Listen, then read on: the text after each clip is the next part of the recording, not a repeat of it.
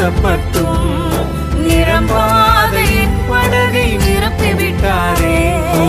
ஆராதிப்போமே அவரை